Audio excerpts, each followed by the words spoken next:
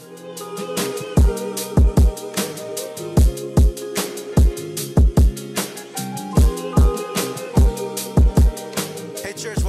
to another episode of The Breakdown every Wednesday at 7 o'clock here on YouTube or Facebook. We also want to invite you to join us every Sunday at 9 a.m. and 11 a.m. here at our campus for our outdoor services. Uh, we want to invite you to just come to community. We were here, we're outdoors. It's pretty warm outside right now. Uh, but today, I'm so excited to have this group of people here. This group of people are some of the funnest and coolest people I know. Not the most coolest, but some of the coolest. Speaking of Close enough. Close enough. And, uh, and I just want to introduce you. Let's start here. Um, just introduce your name a little bit and what you do, and just explain to everyone who wouldn't know who the captain is uh, here at the church. The captain? the captain. Wow. Okay. Well, my name's Derick. Uh, I'm one of the pastors here, and I do a whole lot of stuff. Give us three, because you do more. You do more than that. Uh, Take a nap. I no, I'm just kidding. Uh, let's see. I guess I, I can add adding T and O right Yeah, to the list now. Now that I did it. Yeah. Uh, no, it's I help a lot in the background. So a lot of administration, systems, and doing a lot of that, marketing, some graphics, websites. But I'm just gonna put you on the spot since we were talking about it earlier. yes, you do. You do that right now. But you've been the children's pastor before. I you've have. been our sound tech.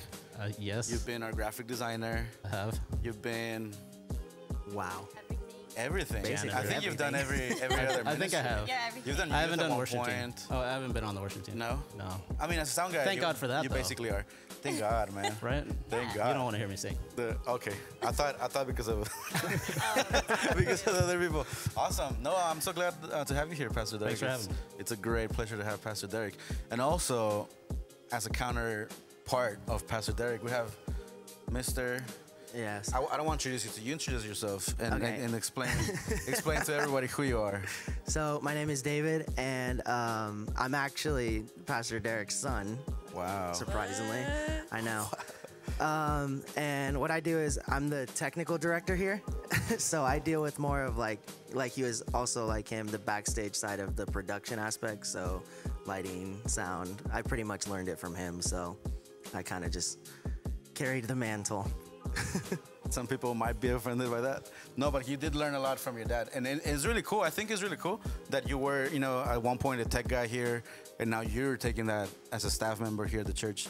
I think it's great, uh, just to bring the conversation of there's no success without successor. You know, like literally as a as an offspring, as a child. Yeah, I would say it is pretty cool to, to know that my son has taken over Yeah. and kind of done all of that. Um, I know there's a lot of, I get to have a lot of fun with them. Yeah. kind of poke at the things that Do he you does still tell because him? I know. Do you still tell him the things that he does wrong? I try to. Yeah. But you know, technology advances so quick that it's honestly I don't really know what's going on anymore. That's true. That's true. He's ahead of the game for So that. you know, you combine that with old age, and it's just kind of like sometimes I forget his name. I don't even know who you are. That's awesome. And who do we have here? My name is Stephanie. Awesome. Um, I actually grew up here at Heart Rev, and um, Were you part of the children's ministry as well, or a little older than that? I was I was part of Kingdom Kids in the high school. Yeah. Um, but I right now am one of Pastor Crystal's PPAs, and I also am part of the worship team. So Awesome. How long? it. How long you been in the worship team? um, probably like maybe four years now. Yeah, Awesome. And shout out to since we have a families here. Shout out to your dad. my dad. Awesome. He's a great guy. Yeah. Shout, Shout out out to you, Dad. Love Mike. to Great tell us, guy. tell us one thing, and I, I mean, I'm, I'm just bringing in this this family conversations because of the, Yeah. the topic today. Uh, it's called homesick. Just tell us one thing that you love about your dad. One thing I love about my dad, um, Just one. no, um, I think something I love about my dad is that he always like he always has something to say. Like he always has something to say, but like when I like really truly like think about it, like I'm really thankful for it because half the time it's like now I know like where my concepts are coming from and like where I'm where my mindset is and how I'm thinking. So because he always has something to say about everything that I do, Nice. I'm also grateful about it because then then I know like someone cares and someone's like you know really like watching you know what I'm doing, how I Right. am, and everything. So And then tell us one thing that you strongly dislike about your dad. We're exactly alike. We Wow. bump heads like crazy. We're That's exactly a good one, right? Because you put it on yourself too. That's cool. Yeah. I like that. So let's get right in. Uh, Pastor TJ had a great message. It's called Homesick, and I think it's great uh, for because of the collection of, of conversations that we've had. You know, based on uh, blueprint and just building up a home. So I'm very excited. You know that we have family members here, and that your dad and your mom they serve here. You know, so it's, it's just a really great, really great group of people to talk about being homesick. So I just want to start, you know, with the opening verse on Galatians 4:22.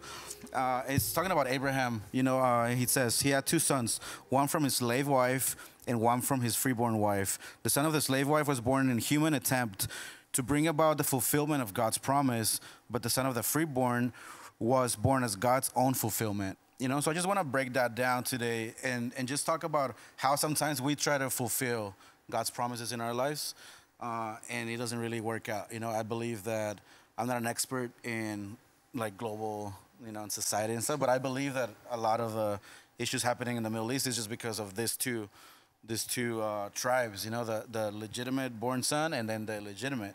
And I think all the way till today we can see how just one man's trying to fulfill them their own promise just can ruin the entire spectrum of our world and politics. You know, it's, it's it's really intense. So I just wanted to ask you guys: um, Has there ever been a in a time that you felt homesick? Uh, and let's just start with the basic. You know, like in reality, like homesick. Is there any time that you've been apart from your family, your homes, that you felt like, dude, I need to I need to get back? Pastor Derick, we'll start with you. Um, I, I would say, well, I was born in New Jersey, so we moved Wow. to California when I was nine. I did Yeah. not know that.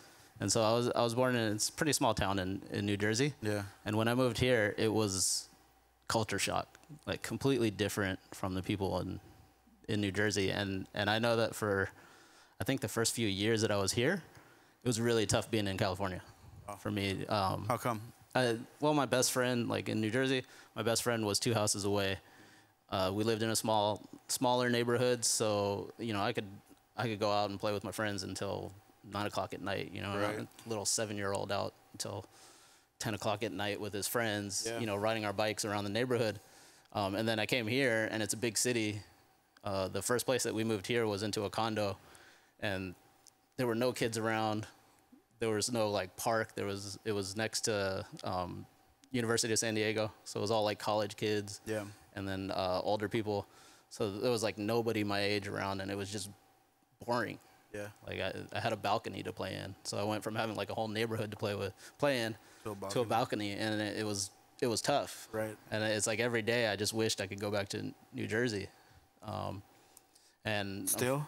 No, not anymore. Uh, no, well, no, not really. Sometimes. No, he Sometimes. always says he always says he wants to go. Yeah, he does. Yeah, How old I- were you? would How move old were you when anywhere. you came in? nine. Nine. Wow, Yeah. that's crazy. How about you, Steph? Is there a time that you felt homesick? Oh yeah. I um so right after high school I moved to Arizona Right. And I remember like just getting prayed out. I did not want to go. Like I wanted to go like for the college and like the program and everything, but I was like all my friends are here, like, you know, my family's here and I was going to be over there with my grandpa and I'm like that's not fun. And so I was homesick from like the day I left Wow. to like probably I'm not joking like it took me a year to kind of like adjust there. When you oh when you were there. Yeah, when I was How in? Arizona, I was there for two years. Wow. Um, I did undergrad there, and yeah, I, I I just remember like I'm just gonna be straight up like I was sad. Yeah. I missed my parents. You know, my dad would call me like almost every day. My mom, um, I just missed being home. And also, I'm an only child, so it was kind of like, you know, there was no like siblings to miss. It was just like only my parents that I really, really wanted to be with. And so, um, when I moved, when and when I was over there too, like, oh my gosh, like I was just like so grateful, like moving back because I was like, I can actually talk to my mom about my problems face to face and not have to call her, Right. you know. But yeah, I've yeah definitely homesick for like that whole year. I was so sad, but God, luckily I got like plugged in at um what- at that time we had the Tucson church, so I got plugged in there and everything. But it still wasn't the same because you know like the environment's different over there. Everyone was Right. like way older than I The was, people, so for yeah. sure. Nice. How about David? Um, for me, it was during high school. Um, I was kind of going through a rough patch in my life at the time, Yeah. and I felt like I wasn't good enough to be home with my family because they've always been loving and they've always been Pastor Derick and Yeah. Pastor Letty, even before their ord- ordination, right? Right. Yeah, even before that, they've always been everybody's kind of like lead. Go-to leads, Yeah. yeah. So I always felt like I was never good enough. So I would always stay at my friend's house. Like I used to be there almost, uh, probably like six days out of the week, right? I was just home for probably like one day Yeah. and everything like that. So I remember being homesick during that, thinking, I really wish that I could be home Wow. and like with my family. But it was just the same thought of not being good Yeah. enough to come back to them. And So- how? What made you come back? Um, my mom. Nice. My mom actually like she was very my mom has my mom and I have always been really really close. So she knows when something's not right. So she was just like, "Okay, you can't just keep fighting it anymore. You got to come home. We gave you your space to figure it out, but if you're just staying in it, like you got to you got to move now." So she really forced me. And although I didn't enjoy it at the time, Right. it ended up paying off really well. Wow, that's crazy, and it, and it's really it's really a good metaphor, you know, kind of to to the message that Pastor TJ was saying, because sometimes we have that with God, you know. Sometimes we we're the ones who go away and we detach. Uh, but like you said, you detach even because they were so good that you didn't feel enough, you know. Yeah. And that's just the perfect example. Uh, to just move on into this next question is like, when was a time that you felt homesick from God? You know, like most of us. Uh, I mean, I know all of you for a couple of years now, and us three work together. Steph, you're here in ministry a lot, you know. So we we're very deep um, rooted in the church. But even being in the church, I know because I've experienced it myself. Um, there's times that you just detach from God, you know. So when, when when has been a time that you felt you've been trying to distance yourself from God, but you you have that homesick feeling about church? You know, have you ever felt that? Oh yeah, I, I think all the time. Yeah. I think uh, seasons come like they come and go, but they keep coming back. Right. Um, I, I know I, I've been on staff at the church for I think 19 years, and it's I almost think it's worse being on staff Yeah. because you're homesick at a place that you keep coming back to. right. So it feels like it's a different place, but you're here every day. Yeah. And so the feeling of it changes, and you know sometimes it's it, it's something that I'm doing Yeah. that makes me feel disconnected. Sometimes it's just other people, seasons in their life they leave or they've had to go somewhere else. Right. And um, I know that I think it just keeps it comes and goes. Like it's not. The, the hardest part I think is remembering when it was really good Yeah. or remembering a really good time, not even and forgetting that there's still a future. Right. That's good. So you start thinking about all the things that you're missing out on, but you you don't think about who who's coming. You think about the people who left, but you don't think about who's coming. Right. You think about the friends you've lost, but you don't think about the friends you could make. Wow. That's and good. so I think it's it's you you just kind of go. It's like a roller coaster. You just keep going up and down. right. So And how about you guys? Have you guys ever felt homesick from God, like in, Yeah. in ministry and life? I mean, I've I made a decision during my rough patch Right. to actually leave church for a while. Yeah. So I was away from church, like, cause I've always been a ministry kid. So it was it was a very different, big move for me. And I remember thinking too, like, like I don't even remember telling him too. I was like, I miss going to the church. Yeah. Like I just want to go, and it wasn't because of like anything. Just like oh, I just want to go to say I can go, but it was more like I genuinely was telling them I was like I want to go. I want to be with like the people there and the atmosphere there because it's like it's like family. Right. You know, the same thing like with him when I was away. Um, it's almost like I would miss the embrace of coming to church and feeling, you know, God's arms being wrapped around me to be like, you know, like you're always welcome here, regardless of whether or not you think you're good enough. Like, you're always welcome here. That's awesome. Stephanie, how about you? Yeah, I think actually it's funny. Um, this year I definitely was in a season where I didn't even realize like how homesick I was. Right. Yeah, I think it's like how he was saying, like it's so easy to like come to church and serve. And like I said, I grew up here and it was something I was doing every Sunday. Like this is just what I know, reading the Bible because I have to. That's how I have, you know, a relationship with God. And I think what I've learned is something like um, I've shared with my friends is like God truly like he truly broke me this year and it was for me to realize like how much I needed him and how much I needed to trust him. And that's something like, you know, we always talk about and literally what we learn every Sunday is to trust God. But you have to be like you have to desire that relationship so badly and get out of like, you know, that gut you know, just feeling. Right. And I think this year I truly realized, like, hey, you know, like I thought I was in routine. This is something I was continuously doing every Sunday. Like, I'm a Christian, I love Jesus. But I think trusting God is literally everything. And that shows how much, like, you love Him and how Yep. down you are for Him. And it, it's a reminder too of how like down God is for you and how much like He loves us. So I think this year, like you know, I I super realized like routine, if I could say anything like routine, um, can get you homesick too without even realizing it because you're not doing anything like with purpose. You're kind of just doing it because like this is what I've known my whole life and That's true. Yeah, and that's huge because we have so many volunteers here, so many people come to the church, and and like you said, we can become over familiar with doing it. And like Pastor Derick said earlier, sometimes you get homesick because we're here so much, you know, and we're not even considering it like a home either. Uh, but just for that, you know, like in order to be homesick, you have to call this place a home. And I think I just want to ask you guys that question, you know, since we've both been here, both of y'all been here. Well, you've been here since you were born, basically, right? Yeah. For 19 years. Yeah. And how old are you? 19. I'm about to be 20 in two months. In two months? Party. We Yeah. got some cake in the back. Yeah. It's take one pizza because it's not your month yet. But I, I just wanted to ask you guys, uh, when was that time that you decided to make this your home? You know, and for you guys especially because since you were raised here, sometimes it's just easy to just be like, oh well, that's the place I go. Like you were saying, it just becomes a routine. But like there, there comes a decision. You know, I remember when I was young, I grew up at the church. But I remember it was a specific time, you know, in middle school when you decide, okay, I'm actually a Christian, you know. But for you guys, when when did you feel that this is actually a place that you could eventually get homesick from? You know, what what how how did that look in your life?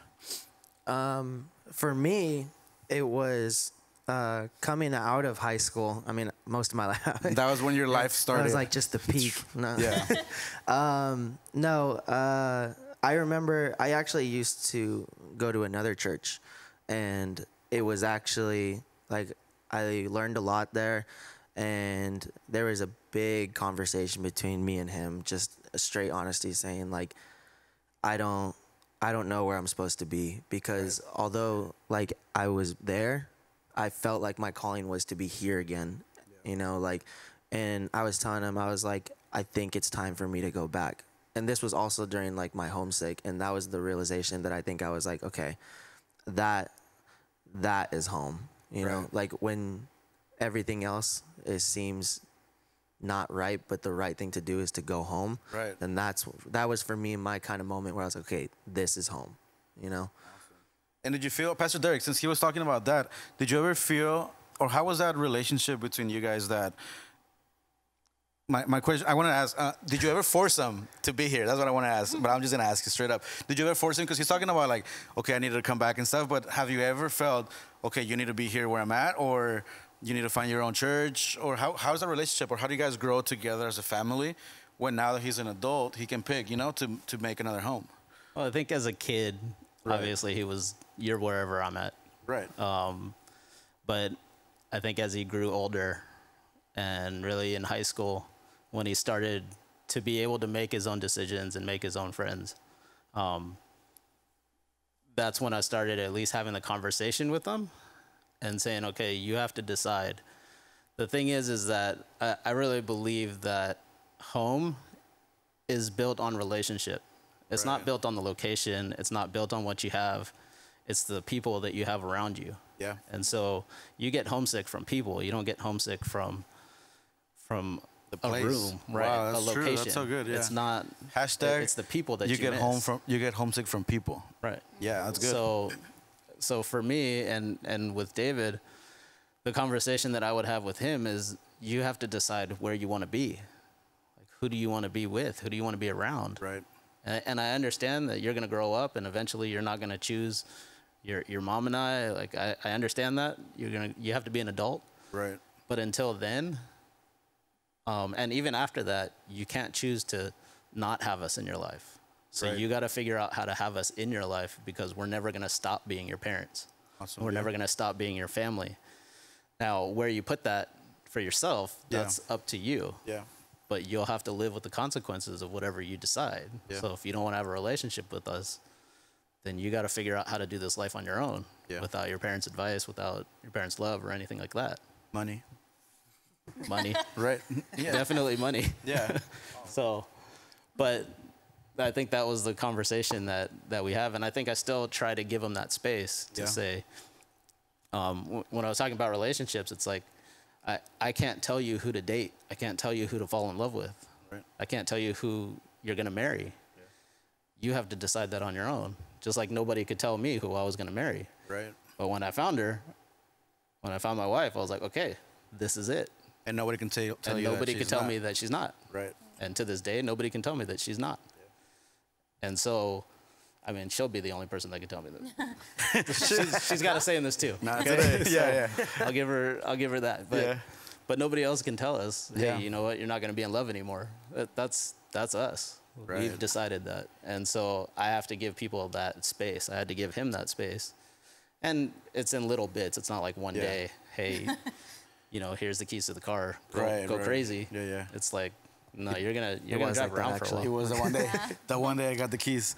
That's awesome. And how about you, Steph? Like, also growing up here at church, was there a time uh, when you became an adult that you were like either tempted or you did like, okay, this is not gonna be my home anymore. I know my parents go to this church, but I'm gonna look. Or, or how did you feel? How did you make this your home? Yeah. Um, I think in college, um, when I was in Arizona, I, like I said, I didn't have my parents there. So it was so easy to do like whatever I wanted. Like I didn't have to be home by like 10 o'clock anymore. Like, you know, I'm Right. doing whatever I wanted. And even then, like, it wasn't even about like doing what everyone else was doing was like, you know, partying, drinking, and all that stuff. I think it was like just those like little steps of being able to be out later or like be hanging out with like like with my dad it was always like I, I can only hang out with girls. Right. and then when i'm in college it's like oh boys and girls you know like you're cool and everything. Yeah.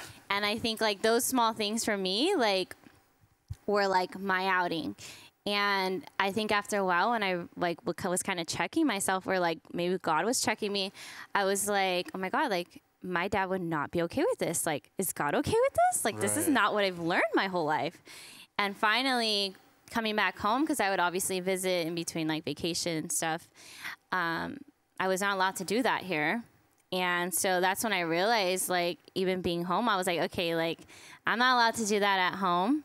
And home is where i'm comfortable. Home is like like I said, I was homesick, so homesick. So it's like home is where I want to be. So I have to follow the rules. Like those are the things that led me to like you know realize like, hey, yeah, like it went along with like my parents' guidelines and like also what God says. Yeah. And um, obviously, like literally, the church has always been home for me. But I think like, I guess like a check into like you know enjoying that life and then like coming back home and literally realizing what's right and what's wrong. Right. And that's awesome that you say, you know, that you, you, you realize that even though there was rules at home, that's where you felt at home, you know? So that way, when you, wherever you go, you take those rules and then you make home wherever you are, you know, Yeah. because, because you have that, that, um, that heart and the morals that you've already been instilled.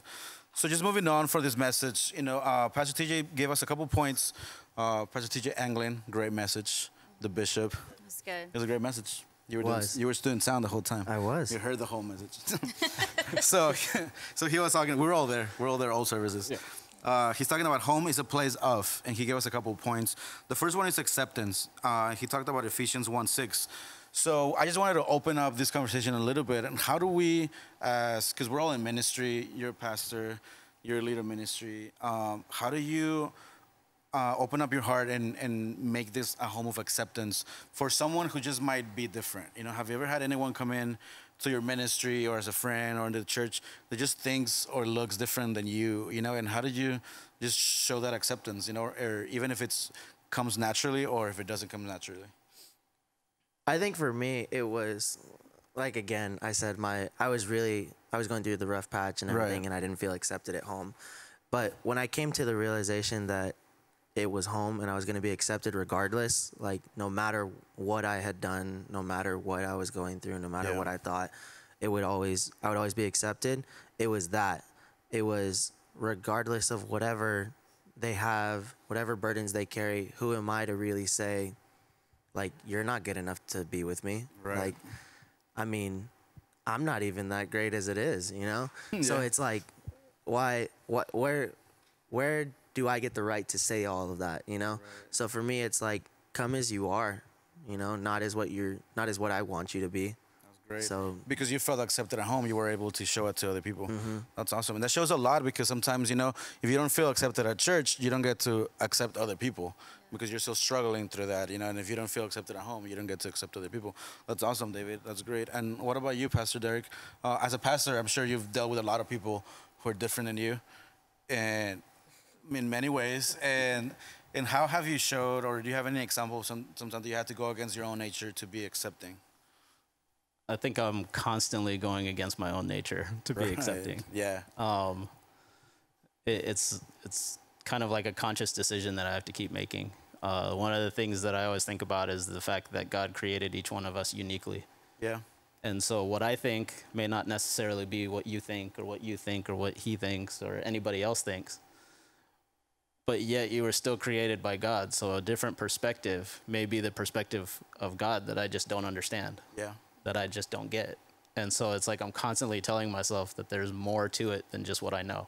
Right. Um, and I think it takes a lot of uh, takes a lot of humility because I got to be able to say I'm wrong, Right. or I may not see it all. Yeah. Um, and I just have to constantly tell myself there's a lot more to it than what I see. Um, I, my wife and I watch a lot of like those like mystery, like detective shows and stuff like that. Yeah, CSI and that kind of stuff. Not not a sponsored. Yeah. So, so we watch a lot of those shows, and I'm I'm always fascinated by them Yeah. because it's like they show you the beginning, and this is what happened, Right. And it's like the whole entire show. You're like, okay, this guy did it. No, this guy did it. No, this guy did. it. And so it's like sure every time. they're constantly Yeah. like giving you new information Yeah. until eventually, you know, by the end of the show, you know who did it. but it's it's like that's life. Right. You're constantly coming into people, and you don't know how they got there. But true. the more you talk to them, the more you spend time with them, you start to realize this is how they got there. Yeah. And then it's like, oh, okay, well, now that I know how you got there, yeah. I, I can understand why you're doing what you're doing, or, or at least I can accept it and be like, all That's right, I'm, I'm cool with it. I may not agree with it, Yeah. but I'm cool with it. Right. I can understand it. So. I was talking to Emmanuel Alanis earlier today, and we were talking about that. You know, like getting to know different ministries, and really getting to know what they do is how we can actually give them more grace. You know, and accept what they do without having so many like frustrations. Because you know, if I don't know what David does in the technical, then anyone can be like very um, demanding. You know, do this, this, and that. If you don't know what he has to work through, right? And sometimes it comes across, you know, uh, you don't get to accept what his position is. So I love what you said. You know, acceptance is because you first feel accepted, and what you said is because you have to be humble to accept it. So moving on for Stephanie, uh, also another point was home is a place of joy.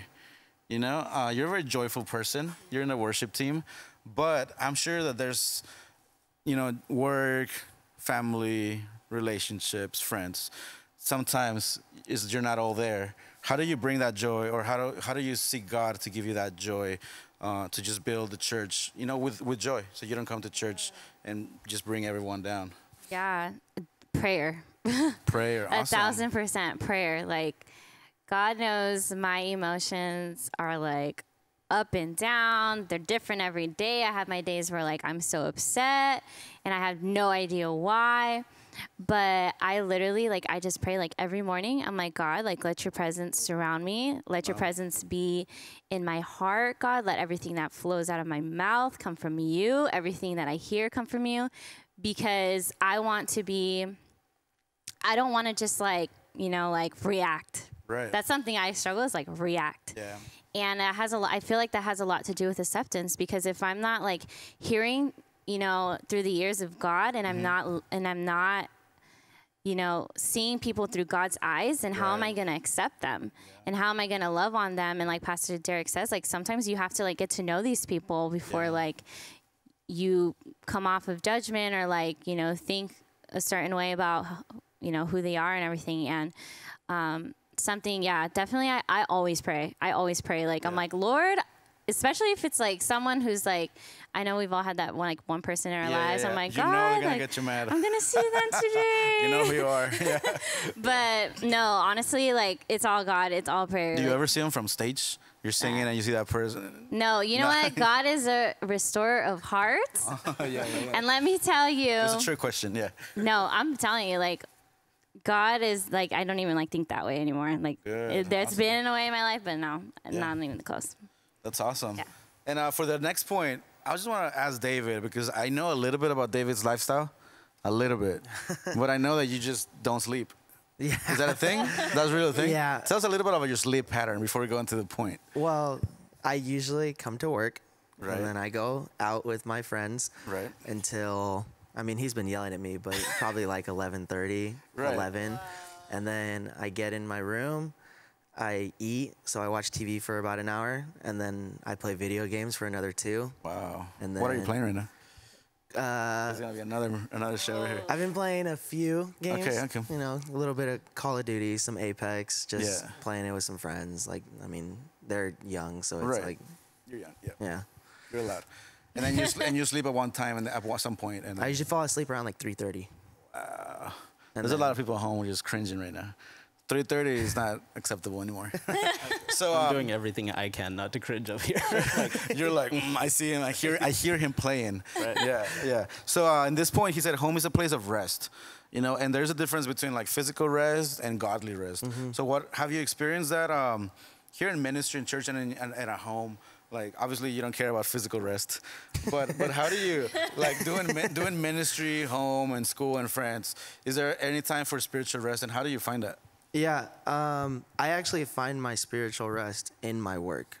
Right. A lot of people always look at me crazy. They're like, "How could you stay here for hours Yeah. just working on random stuff?" And it's because I find my rest in that. Like, when Wow. I'm building a stage or doing sound, it gives me the realization that I. It always reminds me, and it's always a huge point in my life that I am part of God's plan. I'm Yeah. just a piece in the puzzle, you know? And it's like I can do all these cool lights, build Yeah. all these amazing stuff, but it's like like it's really just nothing. Right. You know, like I'm just part of the puzzle. So it's more like it's always like it's very hard, especially working in a church too. It becomes Yeah. like it's almost like you don't serve God, you work for God. You know? So it's like you get this kind of like you have to draw a fine line and everything like that. And I remember feeling like that for a little at other places um, that I've worked for. Yeah. But like here, it's been like they'll ask me all the time. They're like, "Why are you coming home at like 11?" And I'm like, "I was building a stage. Like I was, like, you know, like I was just, I was it." It's like opening to me. Like I just really enjoy doing it and being like here and sitting and just Uh, David here, for everyone who doesn't know at home, he's the one who creates all these magnificent setups with lights and cables that, like you said, at one point we knew, but technology surpassed surpassed us. and this guy is a genius, right?